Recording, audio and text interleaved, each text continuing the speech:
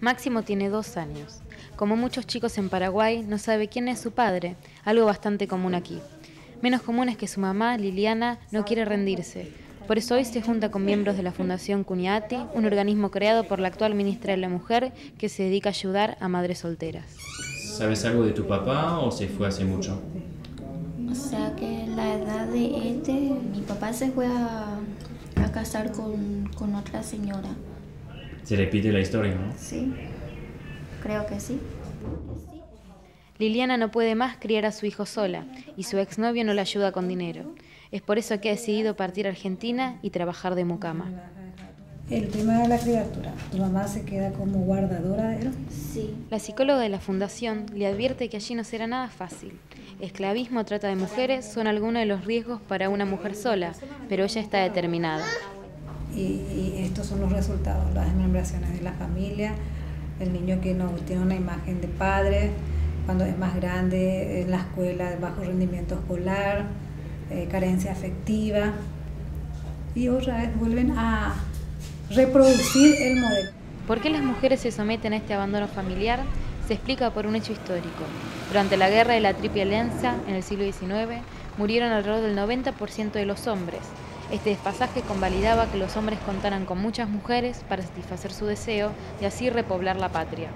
Hoy en día la idea persevera y el macho usa cualquier argumento a la hora de justificar por qué los hombres esquivan la responsabilidad con sus propios hijos. Ve los patriarcas bíblicos.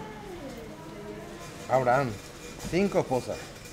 Salomón, mil mujeres y 300 concubinas. Tuvieron cualquier cantidad de mujeres. Esos eran los hombres felices. Eran, eran ricos, felices y tenían varias mujeres. ¿Qué más querés pedirle a la vida? Este, Yo soy pecador innato, ¿verdad? Podrido como todos, pero católico. Soy enamorado de mi iglesia. Eso hay que... En Paraguay, la religión católica es muy importante, pero aquí cada uno escribe su propia catequesis.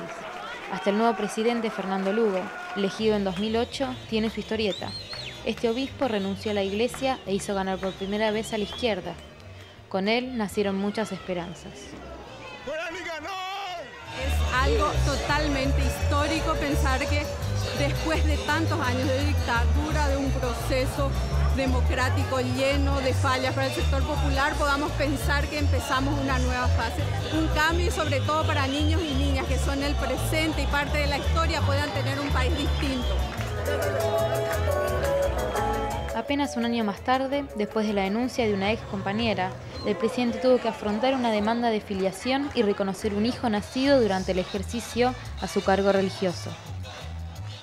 Asumo todas las responsabilidades que pudieran derribar de tal hecho, reconociendo la paternidad del niño.